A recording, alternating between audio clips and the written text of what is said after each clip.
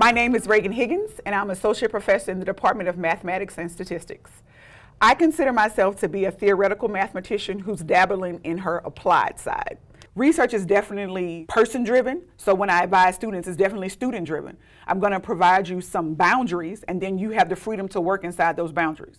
So as long as you're doing your lit reviews, you're putting the time in. Once you go down one path, you learn something, you're like, okay, well, this is going to make me think of something else the main benefit us is that you learn to be an independent thinker and you get to do what you like, not necessarily what someone says you must do.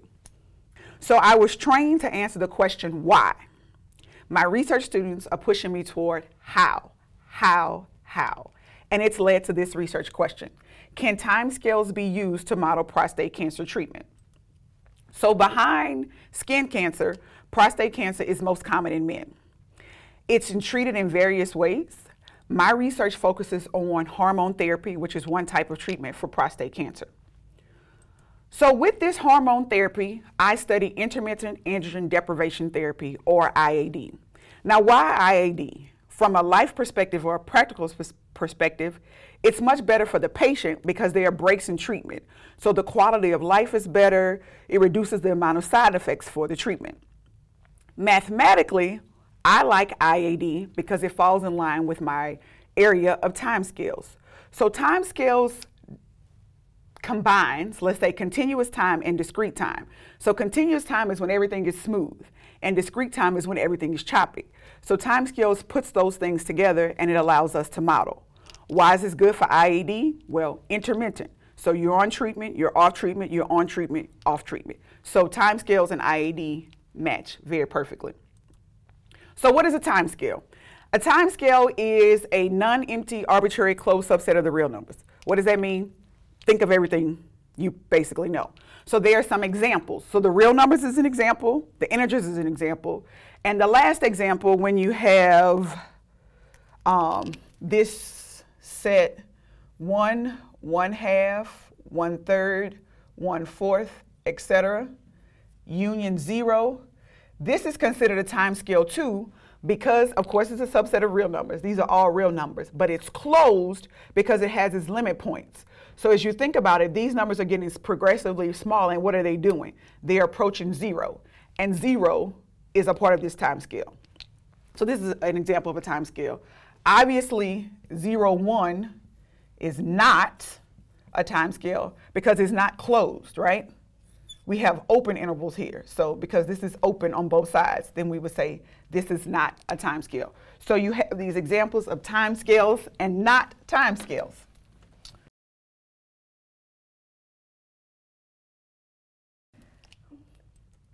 So for my research, our time scale of choice is this union of closed disjoint intervals. So pictorially, it looks like this and then you have a pink point, and then you have this closed blue point, and then you have a closed pink point, and then another, and a pink point. So these are all off treatment. So when the patient is not receiving any treatment. So we're modeling off treatment intervals. So this is zero, we say this is A long, and the space between consecutive off treatment intervals is B. So this is A plus B. Since this is A long, this is 2A plus B. But then if we jump another B, then keep my colors the same. Mm-hmm, you get it. This is 2A plus what? 2B. And then because this is A long, this would be 3A plus 2B. And then you just continuous and continue in this um, fashion, and that's why we have it as a union, and we write boldface P, A, comma, B. So this is modeling off-treatment intervals. So we make some assumptions. So you have a domain. This is my domain. This is what I want to think about. This is my operating space. Now, how do I define the equation or what I'm talking about for this domain? So we have, we make three assumptions. So our first assumption is N of T is PSA level. So what is PSA? PSA stands for prostate specific antigen. So that's a protein that um, is generated by healthy and cancerous prostate, prostate cells. So N of T is just your PSA. How much PSA is in the prostate? So, and this is measured in nanograms per milliliter. So anything above four nanograms per milliliter lets us know that the patient potentially has prostate cancer. Then we say it grows exponentially. So what we're going to assume is N of T looks like gamma to the T, because this is a form of an exponential, and we're going to assume that gamma is not E. So it doesn't necessarily have to be the generalized exponential. It could be any exponential. And our points T belong, oops, T, this says N, my bad, but T is in your time scale. Then our third assumption says that the PSA levels depreciate at a constant rate of B. So why does that make sense? Well, if you're on treatment, you would hope that your PSA levels go down, right? The treatment is working. We want to have less cancer in our in our prostate or in his prostate. So this is modeled by N of the quantity K plus 1 times A plus B is equal to beta. So that's our depreciation times n of the quantity k, uh, yeah, da, da, da. sorry, k times a plus b plus a. So these are three basic assumptions we make. N of T is the PSA level, so how much PSA is in your blood. It's going to grow exponentially because it will grow, right? The levels are going to rise. But we want it to decrease when you are not on treatment. So when you're off treatment, think about this as being off. When you're off, you have some kind of exponential growth. And then when you're off treatment, you want it to go down.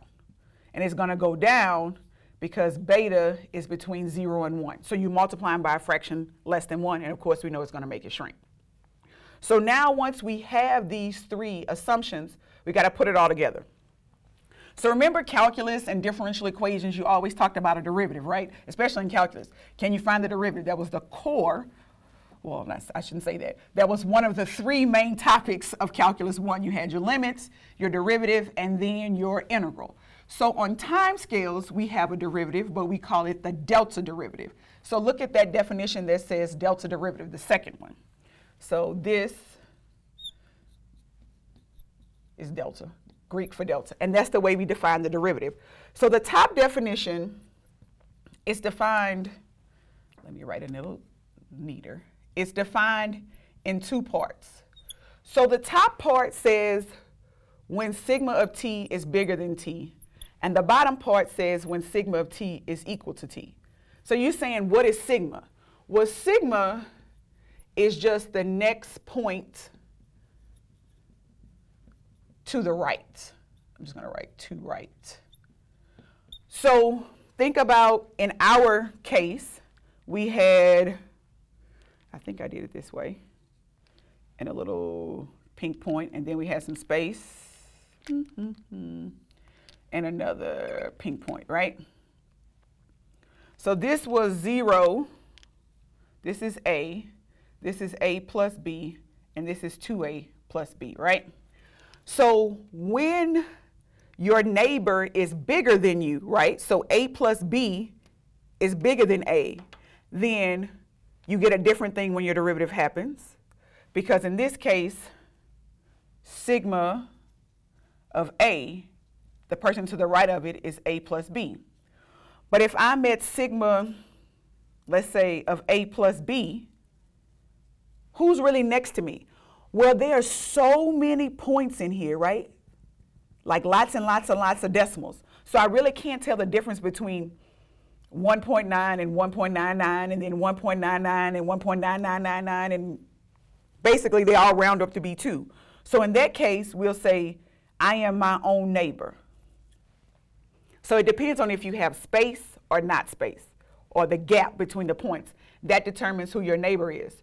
So that neighbor then affects who your derivative is. So the top definition, think about this from calculus as the slope of the secant line. And then the bottom one is the slope of the tangent line. And you spent a lot of time in Cal 1 doing that.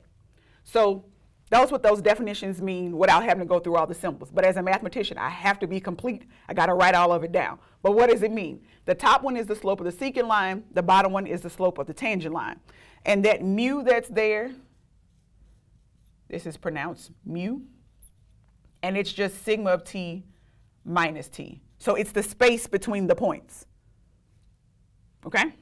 So now that we know how to define the derivative, what are we going to do with it? We are going to look at a test case. So anytime that you want to generalize anything, you got to look at a couple of examples, a couple of test cases.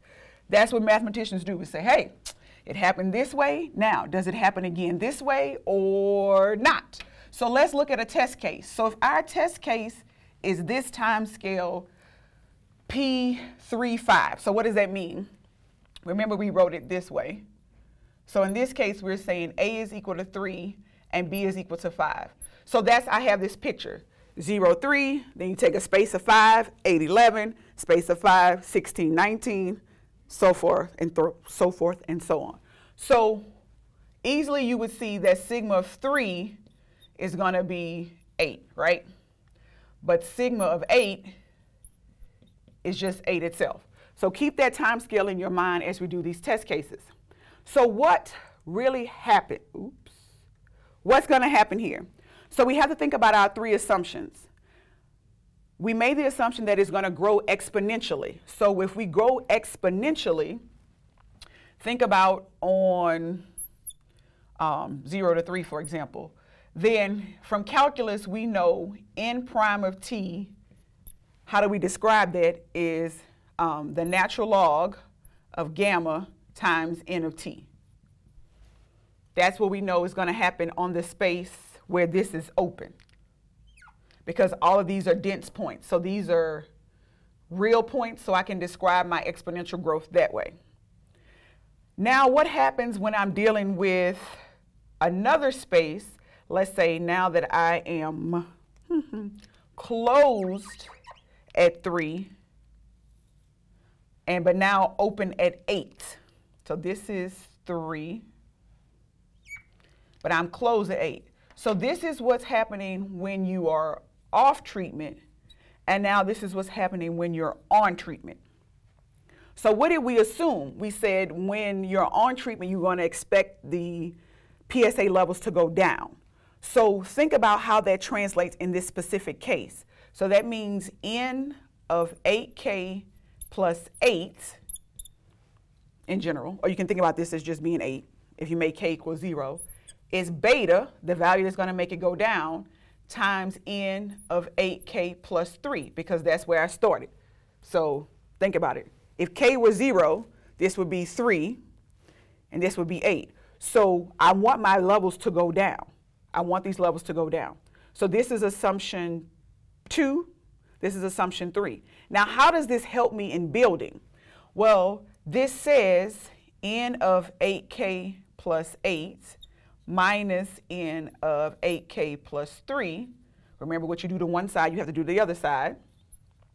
So you take it away or subtract it from both sides. When you do that subtraction, and I'm going to divide by 5, 2, what do we notice? Well, we just talked about that sigma of 3, sorry, not sigma of 3 is 8, right? So assuming that this was a 0, if k was 0, these points relate to each other. So this just says n of sigma of t minus n of t over mu. Why mu? Because the space between these points is what? 5. 8 minus 5 is, sorry, 8 minus 3 is 5, so mu has to be 5. So what have I really done? I've built the derivative. This is what we showed earlier in the first case when you think about the slope of the secant line. So this says in delta of t has this very nice form of beta minus 1 over 5 times n of t, where I'm calling t 8k plus 3. So when I'm on treatment, I know what I look like.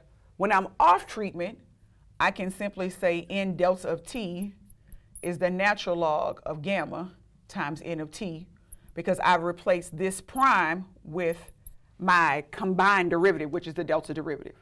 So what I would do is continue to do more and more test cases to draw some conclusions. So in summary, this is what I know. I know when I'm on a interval that looks like this, I have this derivative. And when I'm on an interval that looks like this, I have this other derivative. So depending on where you are, your derivative is going to be different. And that's the beauty of time scales because I can say, I'm here, my derivative looks like this, or I'm in this case, my derivative looks like this.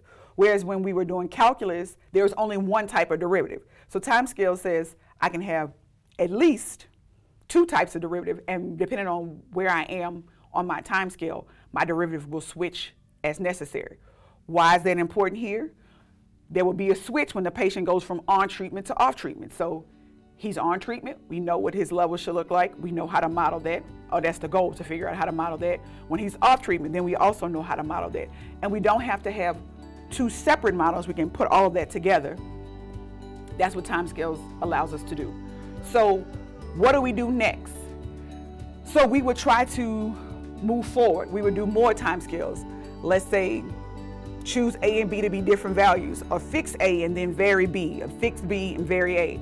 And we will use the definition of the integral. We'll also use the definition of the generalized exponential.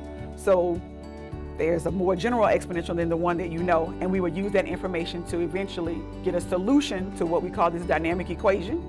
And then we would take that solution that we have, test it against some data, so patient data, about their PSA levels and see how well our model fits. So if you're interested in doing more in this area, feel free to reach out to me. Again, my name is Dr. Raegan Higgins, and I am an associate professor here in the Department of Mathematics and Statistics. Thank you.